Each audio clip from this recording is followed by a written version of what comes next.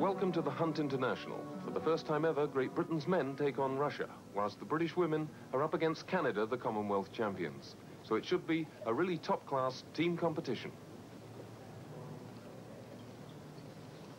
And the women's competition starts with the vault, and the first person we see is Elfi Schlegel for Canada.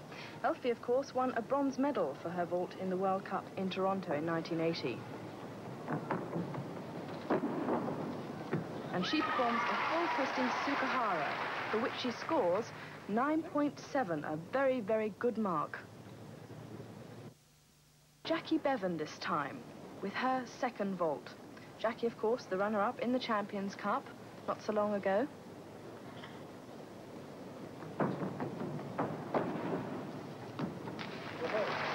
And that's a straight Tsukahara, much better than the first one. 9.5, that'll be the one that counts.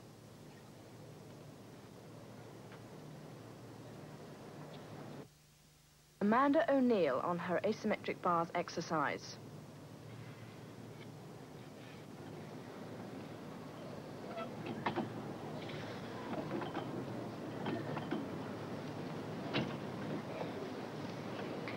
Amanda uh, is 16 years old, and in fact, she's been competing in gymnastics since she was eight, so she's quite a veteran now.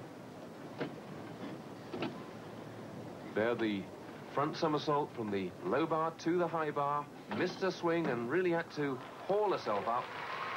Paid the penalty, never got a swing back, and on her dismount there, sat down on the bottom.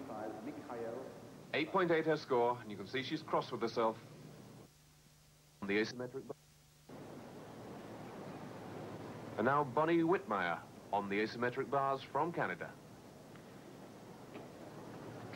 In the 1979 Canadian Gymnastics Championships, she was the overall champion, and in fact she took gold medals in uh, the asymmetric bars, the vault, and the floor exercises, so she should perform fairly well on this piece of equipment. Up to handstand, yes, she must have come through very well. We didn't see her in the World Cup in Toronto. And that shoot, front somersault, dismount. Good exercise from Bonnie Wittmeier. She scores 9.3. And about to perform her routine on the asymmetric bars. Lisa is in fact one of the younger competitors in this competition today, and she's also one of the more petite too. And a very difficult mount there, a free straddle mount, rather difficult for a smaller girl.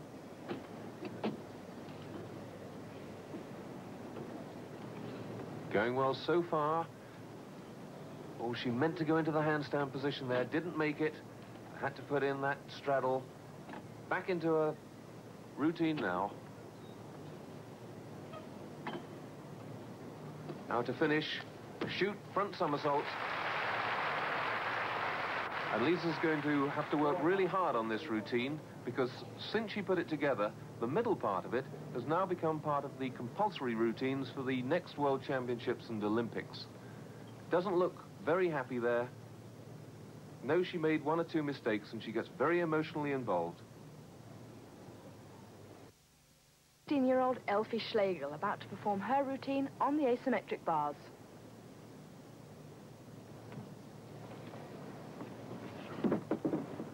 And a very tricky and difficult little combination there. Yes, Elfi Schlegel, very good on the asymmetric bars. Oh, and another tricky move, that eagle grip and then front somersault to catch the top bar again and then go to bottom bar, very difficult. She, of course, began the competition with a 9.7, giant circles there, and a double back somersault to finish. That's another excellent routine. Elfi Schlegel really going well. 9.75 her score.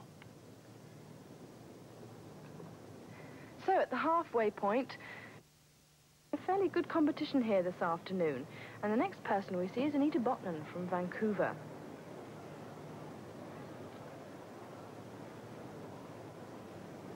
And a back walk over there and two fly flicks, a very difficult combination on the beam.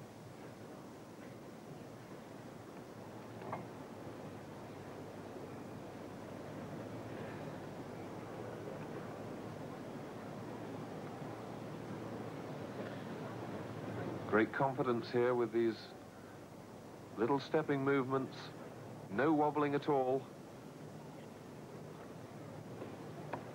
It's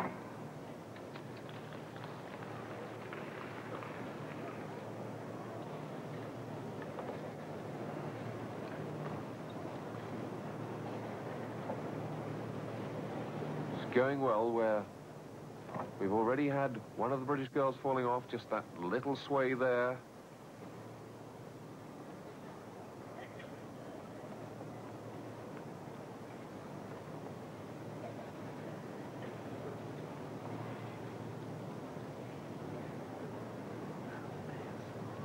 And a beautifully performed Valdez.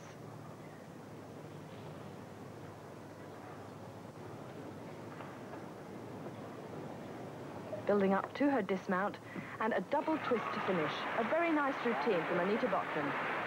And she scores 9.3.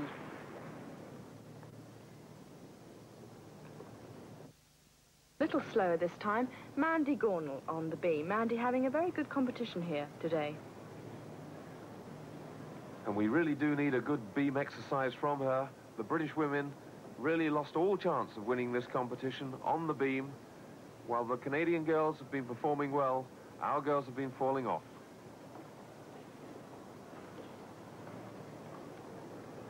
Flick-flack there.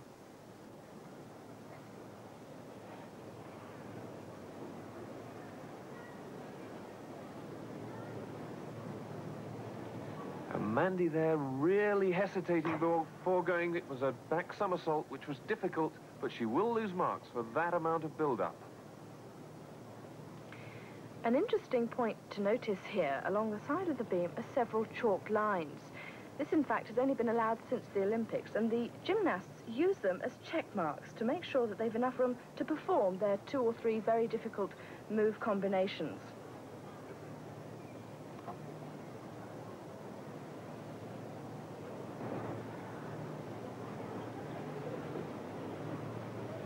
Mandy doing well, very consistent. That's what's put her to the top of the British team, the one-arm flick-flack there.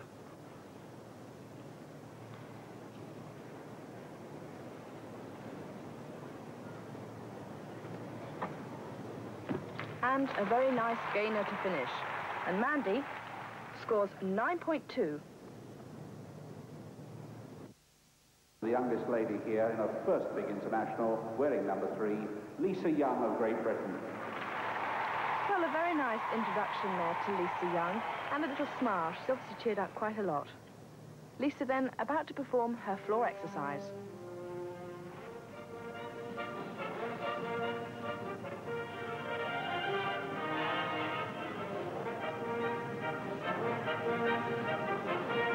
Double twist there at the end of that tumbling routine. Lisa dancing to a very perky piece of music to suit her elfin-like build Last year, in fact, which was the first time the Thames Television Junior Gymnast of the Year competition was held, Lisa was joint third.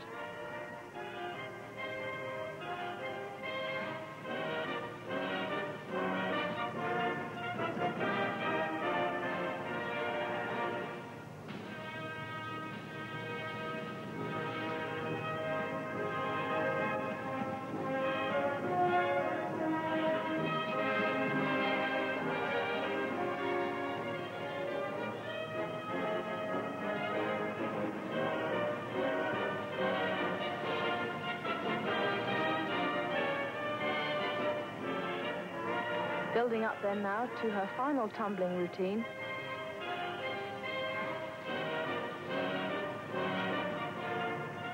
And just a single twist to finish there. Yes, not a lot of difficulty in the routine, but it was beautifully performed. Really did it very stylishly and gets the reward, 9.25 towards the end of this competition now, and the next person we see is Bonnie Wittmeier with her floor exercise. Bonnie has been scoring fairly consistently throughout this competition, so let's see what she can do for us now. And a beautiful double piked back somersault. As the Canadians got more girls who are capable of putting in the double twists and double somersaults necessary to score the really high marks in international competition. There's a double twist. That's a double somersault and a double twist on her first two routines. If she can put in a double on the final one, she should get a really high mark.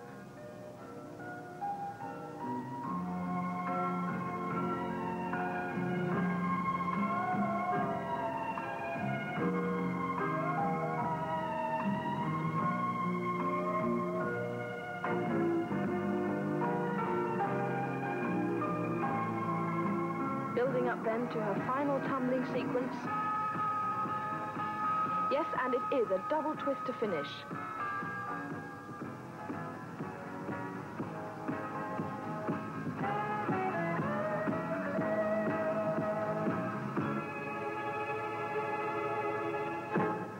Well, that's going to score a fairly high mark. Yes, 9.55.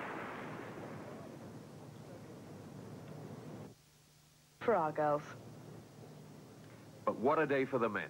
They've held the Russians to within five points, 275.5 against 271.1.